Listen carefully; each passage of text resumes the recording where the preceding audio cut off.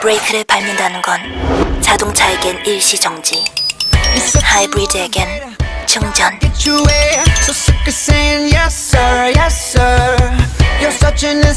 두 개의 심장으로 앞서가다. 소나타 하이브리드